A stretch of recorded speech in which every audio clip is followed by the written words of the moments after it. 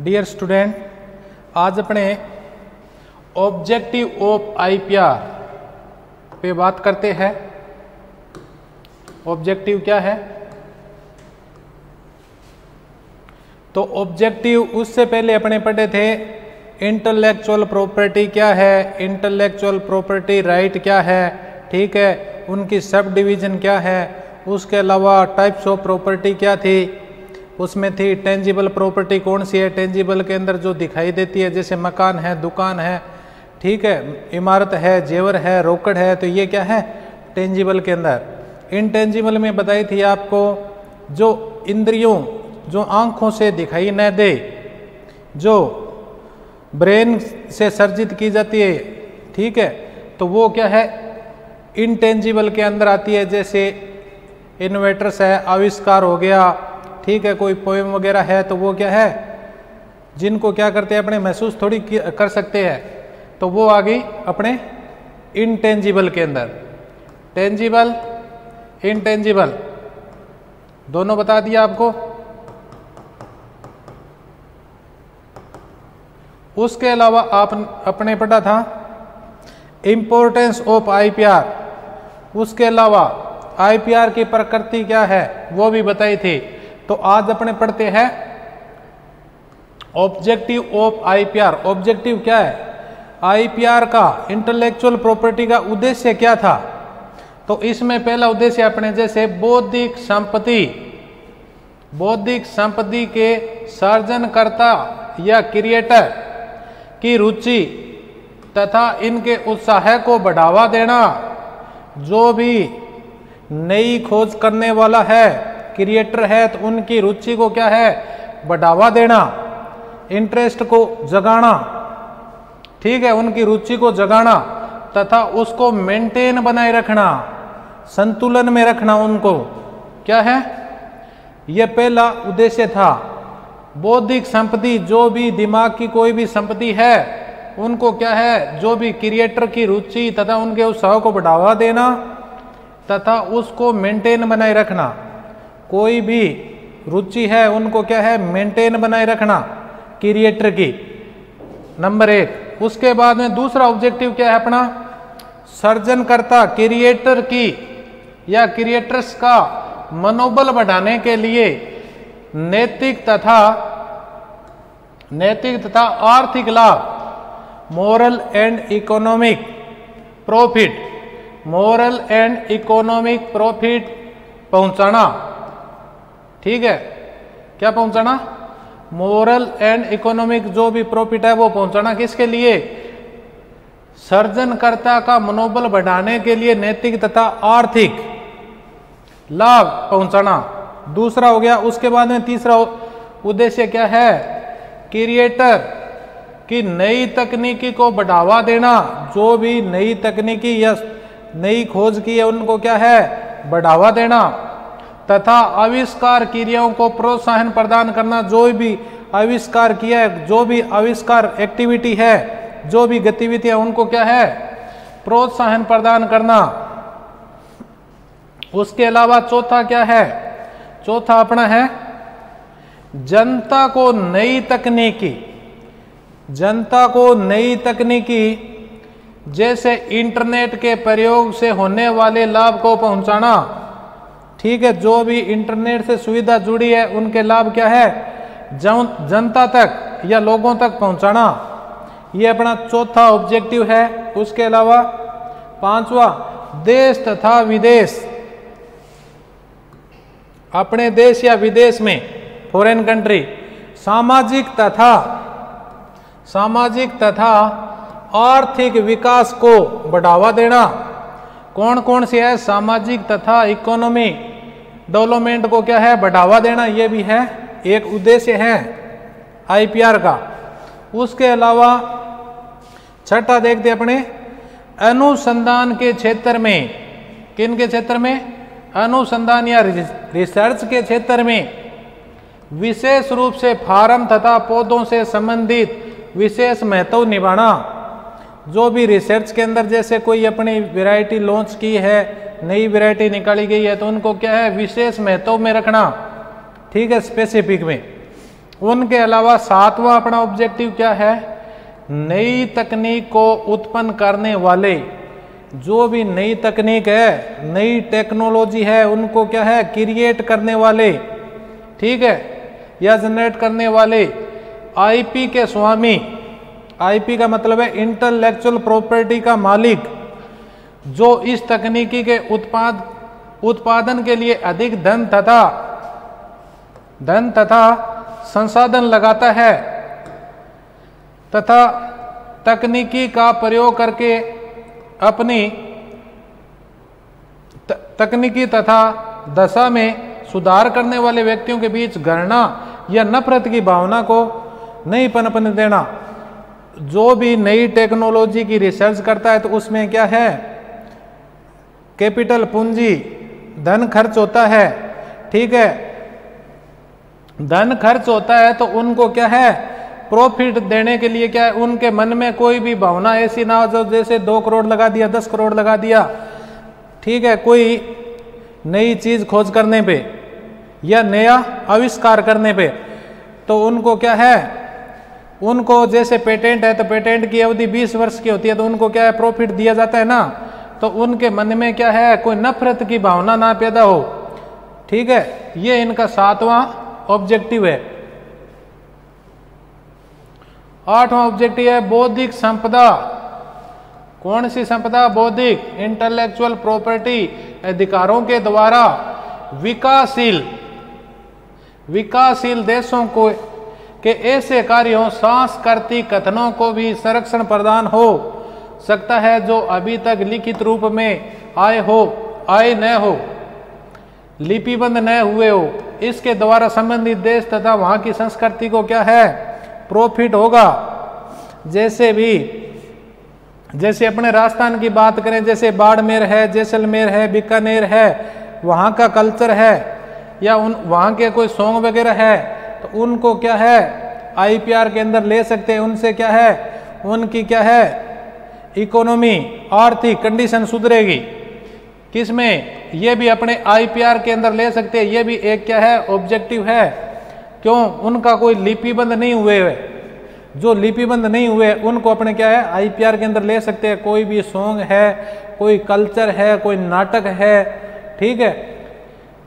वो आपको बताए थे कौन कौन से, सब बता दिए थे, छह बताए थे कॉपीराइट के अंदर, या पेटेंट तो वहाँ के कल्चर वगैरह, संस्कृति वगैरह कॉपीराइट में आती है।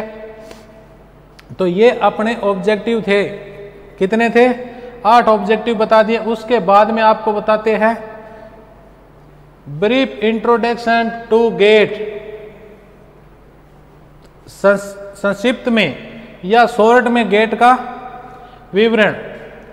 या परिचय इंट्रोडक्शन तो गेट का क्या है? गेट गेट की फुल फॉर्म है general agreement on tariff and trade ठीक है? General agreement tariff and trade ठीक है? गेट ये मत समझ लेना जो कमरा में लगाए होते हैं, जो रूम का होता है, वो गेट नहीं है ये। ठीक है? ये क्या है? General agreement on tariff and trade Hindi में बोले तो उसको बोलते हैं पर शुल्क एवं व्यापार, सामान्य समझौता। ठीक है, इंग्लिश में हो गया। जी का मतलब general agreement on tariff and trade GATT की फुल फॉर्म क्या है? गेट की फुल फॉर्म आ सकती है। एक नंबर के अंदर। ठीक है? गेट की फुल फॉर्म क्या है? तो general agreement on tariff and trade. ठीक है? याद कर लेना इनको अच्छी तरह से। उसके आगे, गेट की स्थापना कब हुई थी? गेट की स्थापना या एस्टेब्लिश्ड? गेट की स्थापना कब हुई थी? ये हुई थी एक जनवरी। कब है? एक जनवरी 1948 में, एक जनवरी 1948 गेट की स्थापना।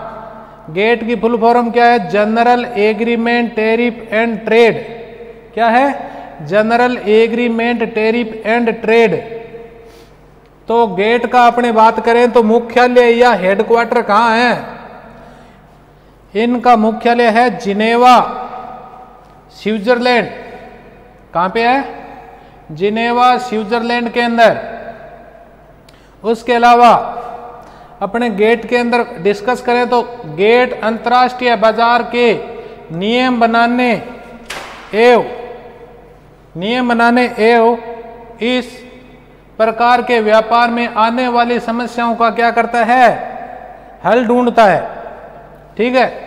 हल करने के लिए आवश्यक वातावरण बनाने में मदद करता है। यह समझौता सदस्य राष्ट्रों में व्यापार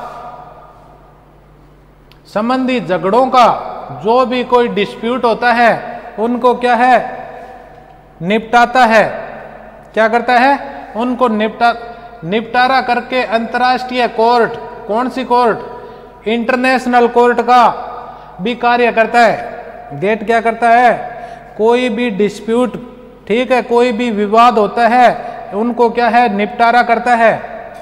इंटरनेशनल कोर्ट का क्या है? इंटरनेशनल कोर्ट का कार्य करता है। गेट है जो। अब गेट के अंदर क्या क्या है वो बताता हूँ।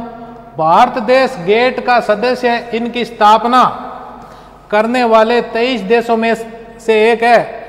गेट का जब स्थापना की गई थी, उस समय कितने देश थे? टोटल तेईस देश थे। टोटल तेईस देश थे। गेट की स्थापना हुई थी तब। उसके बाद में गेट को तेईस देशों ने फॉलो किया। फॉलो का मतलब है अपनाया कितने देशों ने? तेईस देशों ने। कब अपनाया था? 30 अक्टूबर उन्नीस को अपनाया था, लेकिन इनका प्रभाव इनका प्रभाव कब पड़ा था? एक जनवरी 1948 प्रभाव। इनकी स्थापना हुई थी एक जनवरी 1948 को, तभी इनका क्या है? प्रभाव पड़ा था। लेकिन लोगों ने क्या 30 अक्टूबर उन्नीस को इनको अपनाया था? तेईस देशों ने। उनके बाद बात करें तो 1950 में क्या हुआ? सन 1950 में सन 1950 में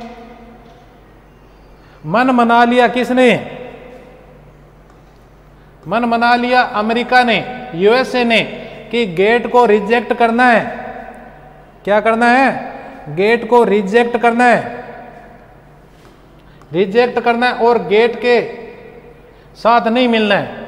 अमेरिका ने, यूएसए ने बोला भी गेट को अपने 1950 में, उन्होंने क्या मन मनाया था? भी अपने गेट को रिजेक्ट करना है, गेट के साथ अपने को नहीं मिलना। कब का? सन 1950 की बात है। उसके बाद में यूएसए को आइडिया पसंद नहीं था। भाई, अमेरिका को क्या है? गेट जो भी कार्य करता था, उनका क्या है? गेट जो भी काम करता, उनको पसंद नहीं था यूएसए को। ठीक है? उनके बाद क्या है? गेट में मराकस के समय एक मराकस संधि हुई थी। ठीक है? मराकस के समय 123 देशों ने भाग लिया। जो मराकस के अंदर जो संधि हुई, उनमें क्या है? 123 देशों ने भाग लिया। 123 देशों ने भाग लिया 14 अप्रैल उन्नीस सौ चौरानवे में। कब? 14 अप्रैल उन्नीस सौ चौरानवे में। Uruguay round. Uruguay round. Hindi में बोले तो उर्गवे चक्कर, एग्रीमेंट में। जो उर्गवे राउंड हुआ था, उनमें क्या 123 देशों ने भाग लिया? एग्रीमेंट में जिनमें कृषि, वस्त्र, उद्योग, आईपीआर, व्यापार, सेवाओं आदि विषय सम्मिलित थे। उनके बाद क्या है? इनमें क्या हुआ था? कृषि संबंधित प्रस्ताव, एग्रीकल्चर रिलेटेड प्रपोजल, ठीक है? इसमें क्या था? कृषि अनुदान राशि की समाप्ति। जो भी एग्रीकल्चर पर सब्सिडी मिलती है, उनकी क्या कर दिया? समाप्त कर दिया। ठीक है, उसके बाद में प्रोडक्ट के प्रोडक्शन के लिए प्रोडक्ट के उत्पाद के उत्पादन के लिए, किसके लिए? उत्पाद के उत्पादन के लिए प्रोडक्शन के प्रोडक्ट के प्रोडक्शन के लिए प्रोडक्शन इनपुट से, जो भी उत्पादन साधन से, क्या हुआ? संबंधित अनुपात, उनको बोलते हैं अपने non product input specific subsidy कौन सी? Non product input specific subsidy वो किसमें है? नॉन प्रोडक्ट इनपुट कौन कौन से रखे थे? उनमें रखा था एक तो सीड को, एक रखा था फर्टिलाइज़र को, एक रखा था इरिगेशन को. पर कुल उत्पाद मूल्य पर 10 परसेंट से 10 परसेंट से क्या है? सब्सिडी अधिक नहीं होनी चाहिए। जो भी मूल्य है, उनमें कितने हैं? 10 परसेंट ही कम किया जा सकता है। ये किन में है? नॉन प्रोडक्ट इनपुट सब्सिडी आपने स्पेसिफिक सब्सिडीज में था। सीड फर्टिलाइज़र इरिगेशन पर कुल उत्पाद मूल्य पर 10 परसेंट की क्या थी? अधिक इससे अधिक छूट नहीं होनी चाहिए। यह था 1986 से लेके 1988 ये डंकल प्रस्ताव था। कौन सा प्रस्ताव? डंकल प्रस्ताव। उनके बाद में अपने गेट में आके बात और करते हैं। दूसरा था प्रोडक्ट स्पेसिफिक सब्सिडी विशेष उत्पाद के उत्पादन संबंधित ठीक है? वो तो सीड फर्टिलाइज़र, वो तो क्या है? नॉन प्रोडक्ट में रखा था। उसके बाद में जैसे पेटेंट सिस्टम ये क्या था? ये है प्रोडक्ट स्पेसिफिक सब्सिडी पेटेंट वाला। उनके बाद में दूसरा बात करें तो व्यापार संबंधित बौद्धिक संपदा अधिकार। ठीक है? इनकी फुल फॉर्म आ सकती है। व्यापार संबंधित बौद्धिक संपदा अधिकार TRIPS T R I P S उसकी फुल फॉर्म क्या है? Trade related intellectual property right. इनमें क्या है? व्यापार संबंधी बौद्धिक क्षमता अधिकार में क्या क्या आ गए थे? कॉपीराइट आ गया, ट्रेडमार्क आ गया, पेटेंट आ गया, या ट्रेड सीक्रेट? ट्रेड सीक्रेट को बोलते हैं ट्रेड रहस्य, जिनको क्या है? गोपनीय रखा जाता है। जैसे आपको बताया था कोई इन्वेटर्स है, आविष्कार है, या कोई कुक फॉर्मूला है, उनमें ट्रेड रहस्य है। इनके अलावा इंडस्ट्रियल डिज़ाइन, जो भी औद्योगिक डिज़ाइन है, ये क्या है? व्यापार समित ट्रिप्स में रखा गया था। उसके बाद में ट्रेड रिलेटेड क्या है? Trade related investment measure T R I M S क्या है? व्यापार से संबंधित विनियोजन उपाय ठीक है? तो इनमें क्या है? निर्यात वर्दी करने और देश में लघु एवं रोज़गार उद्योगों को संरक्षण प्रदान करने के लिए विदेशी पूंजी को क्या करना था? कंट्रोल करना अति आवश्यक है। तो ये किसमें आता है? जो भी विदेशी पूंजी है, उनको क्या कंट्रोल करना अति आवश्यक है। ये इसमें था व्यापार से संबंधित विनियोजन उपाय के अंदर।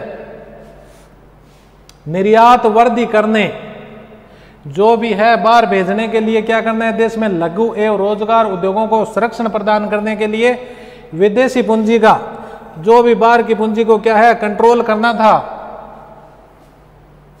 नंबर चार, व्यापार सेवाओं से संबंधित साधारण समझौता। कौन सा समझौता? व्यापार सेवाओं से संबंधित साधारण समझौता। इंग्लिश में बोले तो G A T S general agreement on tariff in service ठीक है तो इसमें सेवा क्षेत्र में सर्विस क्षेत्र में क्या है? सर्विस एरिया में वित्तीय सेवाओं तथा देशी व विदेशी बैंक जो अपने लोकल के या फॉरेन के बैंक है, को क्या है? वाणिज्यिक आधार पर कार्य करने की पूर्ण आज़ादी का अनुमोदन करना है। ठीक है? उसके बाद में अपने चलते हैं। गेट का गेट का काम क्या है? गेट की पे चर्चा चल रही है तो गेट का काम सिर्फ़ गुड्स बोलते हैं, वस्तु को। गुड्स, वस्तु पर सीमा कर लगाना था। जो भी वस्तु है, उन पे क्या है? टैक्स लगाना था, सीमा कर। ठीक है, जो भी सीमा का टैक्स लगता है जो भी अंदर आता है, वो कोई भी वस्तु है तो उन पे जो सीमा टैक्स लगाया जाता है ना, वो कर लगाना था। लेकिन एग्रीकल्चर एंड टेक्सटाइल गेट ने क्या है, जो एग्रीकल्चर एंड टेक्सटाइल है, उनको क्या किया था, जो बहुत बड़ा होता है, ठीक है, उद्योग है, जो एग्रीकल्चर एंड टेक्सटाइल को क्या है, बाहर रख दिया था, ठीक है, अंदर नहीं लिया था, उस, उसको इन्होंने बाहर कर दिया। भाई, इन्होंने क्या है, सिर्फ़ सीमा टैक्स लगाना चालू किया था, गेट ने। और एग्रीकल्चर एंड टेक्सटाइल को क्या है, इन्होंने शामिल ही नहीं किया था। तो उसके बाद में गेट एक एक, एग्रीमेंट था। गेट क्या है, एक एग्रीमेंट। समझौता सामान्य समझौता है। यह ऑर्गेनाइजेशन नहीं था। ऑर्गेनाइजेशन का मतलब है संगठन नहीं था। डब्ल्यूटीओ क्या है? संगठन था। जैसे आगे बात करें तो गेट में पार्टिसिपेटिंग देश थे। गेट में पार्टिसिपेटिंग देश थे। इन्होंने मेंबर नहीं कहते। हैं उसे कंट्रोलिंग पार्टीज़ कहते। हैं गेट में जो भी सदस्य थे ना पार्टिसिपेटिंग देश, जो भी पार्टी स्पेटिंग देश थे जिन्होंने भाग लिया, उनको क्या है? मेंबर नहीं कहते हैं। उनको क्या बोलते हैं? कॉन्ट्रैक्टिंग, क्या बोलते हैं? कॉन्ट्रैक्टिंग पार्टीज़ कहते हैं। ठीक है? आगे चलते हैं अपने। गेट के अंदर आठ ट्रेड राउंड हुए थे। गेट के अंदर कितने ट्रेड हुए थे? आठ ट्रेड राउंड हुए थे, जिनमें पहला जिनेवा में हुआ था। ठीक है, वो कब हुआ था? उन्नीस में हुआ था। पहला राउंड हुआ था ना, ट्रेड का, व्यापार से संबंधित। तो वो हुआ था उन्नीस के अंदर, जिनेवा के अंदर। गेट का पहला ट्रेड राउंड हुआ था जिनेवा के अंदर। और दूसरा बात करें तो वो हुआ था फ्रांस के अंदर। ठीक है तीसरा बात करें तो यूके के अंदर, ठीक है, तीन तक इंपॉर्टेंट है, उससे आगे नहीं, उसके बाद में अगर बात करें सातवां, टोक्यो में हुआ था, उनके बाद में लास्ट है जो आठवां, ये वेरी इंपॉर्टेंट है। इनको याद करना ज़रूरी है, उर्गवे राउंड एग्रीमेंट हुआ था, ये इसलिए कि गेट का काम खत्म हो चुका है डब्ल्यूटीओ की ज़रूरत है। उर्गवे राउंड है ना ये इंपॉर्टेंट है, ये ज़रूर आता है पेपर के अंदर। उर्गवे राउंड एग्रीमेंट ठीक है? तो ये क्यों हुआ था? कि गेट को क्या है? रिप्लेस करना है। गेट अपने लिए क्या है? काम का नहीं है। इनमें तेईस देशों ने भाग लिया था। ठीक है? उसके बाद में मराकस में एक संधि हुई थी। उनमें क्या है? गेट के बारे में चर्चा हुई। इन पे क्या है कि ये तो सीमा कर लगाता है। एग्रीकल्चर एंड टेक्सटाइल है। जो बड़ा उद्योग है, उनको क्या इन्होंने बाहर रख दिया? ठीक है, इनमें शामिल ही नहीं किया। तो इनके बाद में, उनमें मराकस में संधि हुई थी। तो उनमें यही बात हुई थी। उनके बाद क्या है? उर्गवे राउंड। उर्गवे राउंड है ना, ये चला था 1986 से लेके उन्नीस तक। ये डेट इंपॉर्टेंट है। उर्गवे राउंड है ना, ये इंपॉर्टेंट है। ये याद कर लेना, ये पेपर में 100 परसेंट आती है। ये कब से कब तक है? 1986 से लेके उन्नीस में ठीक है? सितयासी मंथ चली थी। Uruguay round. उसके बाद में अपने बात करें तो गेट को तो क्या है? रिप्लेस कर दिया। आठ ही राउंड हुए थे। आठ राउंड है आठवां कौन सा था? उर्गवे राउंड था। वो कितने महीने चला था? सितयासी महीने चला था। कब से कब? ये देखो 1986 से लेके उन्नीस ये याद रखना। उसके बाद में डब्ल्यूटीओ विश्व व्यापार संगठन। क्या है? विश्व व्यापार संगठन, वर्ल्ड ट्रेड ऑर्गेनाइजेशन। ठीक है?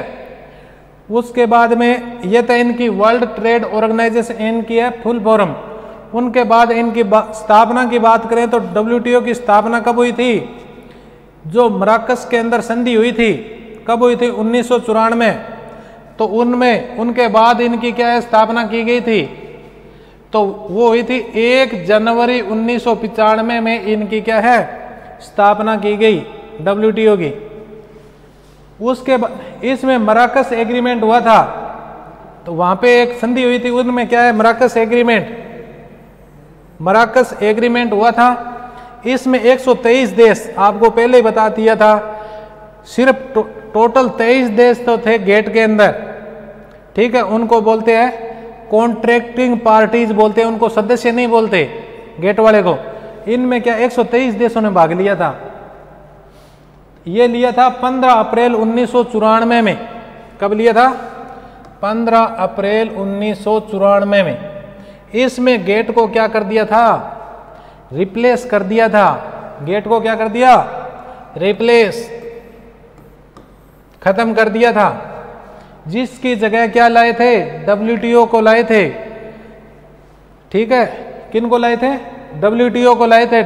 वर्ल्ड ट्रेड ऑर्गेनाइजेशन को लाए थे।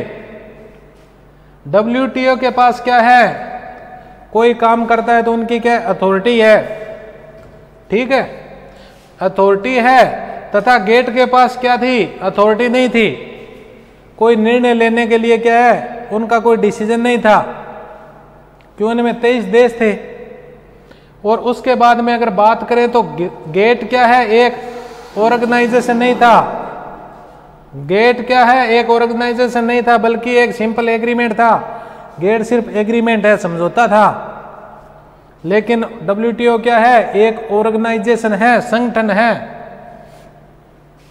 डब्ल्यूटीओ का उद्देश्य वर्ल्ड ट्रेड ऑर्गेनाइजेशन का जो उद्देश्य क्या है?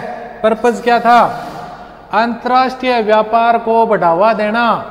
इंटरनेशनल ट्रेड को क्या है? बढ़ाना। बढ़ावा देना। उसके बाद अगर अपने बात करें, इन पे क्या है?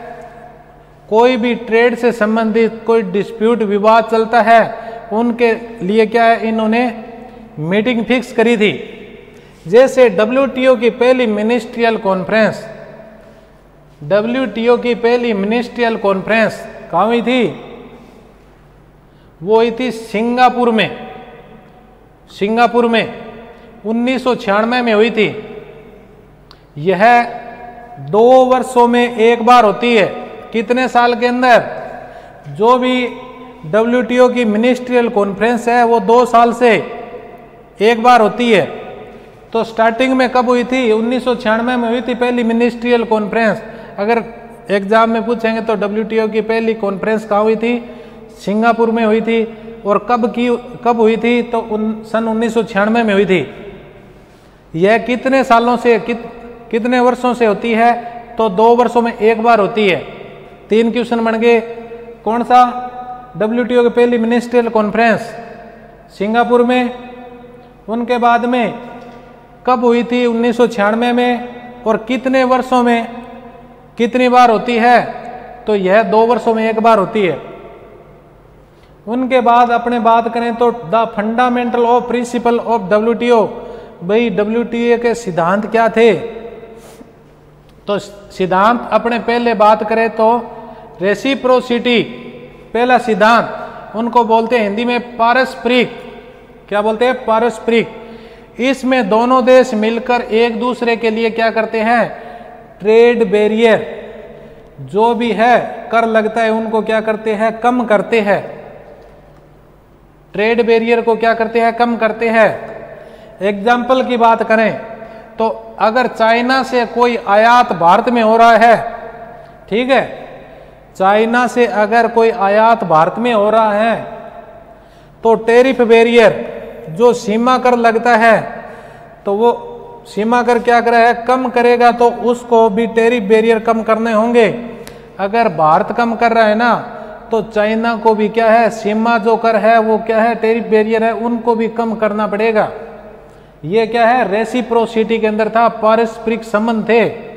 इनमें इनमें दोनों देश मिलकर एक दूसरे के लिए क्या है? ट्रेड बैरियर को कम करते हैं। ट्रेड बैरियर को कम करते हैं। एग्ज़ाम्पल दे दिया आपको, अगर चाइना से कोई चीज़ मंगाई है, गुड्स मंगाई है, वस्तु मंगाई है, भारत ने, अगर चाइना से कोई आयात भारत में हो रहा है तो टेरी बैरियर कम करेगा। कौन करेगा? भारत करेगा। तो उसको भी, उसको मतलब है, चाइना को भी क्या है, टेरी बैरियर कम करने होंगे। ये नहीं है, अभी सीमा कर वो बढ़ा देगा। उसके बाद में है मोस्ट फेवरेट नेशन ठीक है एम अप एन क्या है? मोस्ट फेवरेट नेशन के अंदर क्या हुआ था? अगर भारत ने पाकिस्तान से, अगर भारत ने पाकिस्तान से गुड्स पर वादा किया मतलब कोई वस्तु पे वादा किया कि मैं 25 परसेंट पच्चीस परसेंट मैक्सिमम क्या है? सीमा शुल्क ले रहा है। या सीमा शुल्क लगाऊँगा। तो बाकी देश से भी क्या है?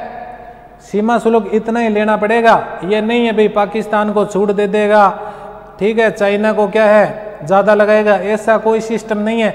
इसमें क्या है? मोस्ट फेवरेट नेशन अगर भारत ने, अगर अपने बात करें यूएसए से गुड्स पर वादा किया भी 25 परसेंट में क्या है? सीमा शुल्क लगाऊँगा, कौन सा देश ले लो यहाँ पे। सीमा टैक्स है। ले रहा हो तो बाकी देश से भी क्या है? उतना ही लेना होगा। ठीक है भाई, मैं 25 परसेंट लगाऊँगा मैक्सिमम ये आ गया मोस्ट फेवरेट नेशन के अंदर। दो सिद्धांत, तीसरा सिद्धांत की बात करें तो नेशनल ट्रीटमेंट नेशनल ट्रीटमेंट के अंदर क्या होता है? डब्ल्यूटीओ के सिद्धांत में, अगर किसी वस्तु को, क्या करते हैं? अगर किसी वस्तु को इंपोर्ट या आयात करते हैं, किस काम के लिए? डोमेस्टिक मार्केट में। किसमें? डोमेस्टिक मार्केट में, घरेलू बाज़ार में। तो उसमें क्या है? एग्ज़ाम्पल दे तो अगर अगर कोई फॉरेन फॉरेन गुड्स है, विदेशी वस्तु है फॉरेन गुड्स की बात करें, जैसे एप्पल फ़ोन बार का है, कहाँ का है? एप्पल फ़ोन बार का है, और भारत का माइक्रोमैक्स फ़ोन है तो दोनों को एक समान रखेगा, ये नहीं कि माइक्रोमैक्स को सब्सिडी दे, ठीक है? भाई इंडिया ये नहीं कहेगा भी माइक्रोमैक्स अपना है, इनको क्या है अपने 30 परसेंट की सब्सिडी दे देंगे, इनको सस्ता कर देंगे। ऐसा नहीं होता। इसमें क्या है, नेशनल ट्रीटमेंट के अंदर ये बात होती है, भाई दोनों को एक समान रखेगा। एप्पल हो चाहे माइक्रोमैक्स हो चाहे सैमसंग हो चाहे कौन सा ही फ़ोन हो? उसके बाद अपने आगे चलते हैं। डब्ल्यूटीओ की डब्ल्यूटीओ की दिसंबर 2017 दिसंबर 2017 मिनिस्ट्रियल कॉन्फ्रेंस। कौन सी कॉन्फ्रेंस? मिनिस्ट्रियल कॉन्फ्रेंस कहाँ हुई थी? ये हुई थी अर्जेंटीना देश में हुई थी।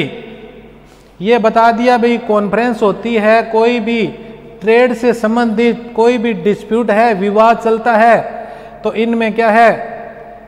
इनमें क्या है? हल किया जाता है उनका। दोनों, कोई भी देश में कोई विवाद चल रहा है या तो उनको क्या है? विवाद का निपटारा किया जाता है। ट्रेड से संबंधित। इन मीटिंग में यही बात होती है। उनके बाद में अपने वर्तमान में बात करें तो डब्ल्यू की बारहवीं मिनिस्ट्रियल कॉन्फ्रेंस कहा हुई थी? Nur Sultan, Kazakhstan. कहा हुई थी? ये हुई थी नोर सुल्तान, कजाकिस्तान में। ठीक है, कजाकिस्तान में हुई थी ये। ये हुई थी 30 अक्टूबर 2019 को। उनके बाद अगर बात करें, वर्तमान में वर्तमान में डब्ल्यूटीओ के एक देश इनके सदस्य है। डब्ल्यूटीओ के कितने देश सदस्य है? वर्तमान में एक देश है। ठीक है स्टार्टिंग में कितने थे? 123 देश थे। मराकस एग्रीमेंट हुआ था ना, उसमें। उन, ये अपने एक सौ देश कौन सा था? 29 जुलाई 2016 को 29 जुलाई 2016 को अफ़गानिस्तान, इसका एक सौ सदस्य बना था। किन का? डब्ल्यूटीओ का। इसके अलावा अगर अपने फ़ंक्शन की बात करें तो फ़ंक्शन आपको पिछले साल करवाए थे। आपके डब्ल्यूटीओ लगा था तो वो भी आप पढ़ लेना। ठीक है, आपको क्या क्या करवा दिया? तो एक तो करवा दिया इंटेलेक्चुअल प्रॉपर्टी राइट क्या है इंटेलेक्चुअल प्रॉपर्टी क्या है, इनके इंपॉर्टेंस क्या है, ठीक है? और इंटेलेक्चुअल प्रॉपर्टी के उप उप विभाग जैसे सब डिवीज़न कौन कौन से है? और इनके अलावा ऑब्जेक्टिव करवा दिए, ठीक है? डब्ल्यूटीओ करवा दिया गेट करवा दिया ठीक है? तो इनको ध्यान से पढ़ लेना। आगे नया टॉपिक को नेक्स्ट क्लास में लेंगे धन्यवाद।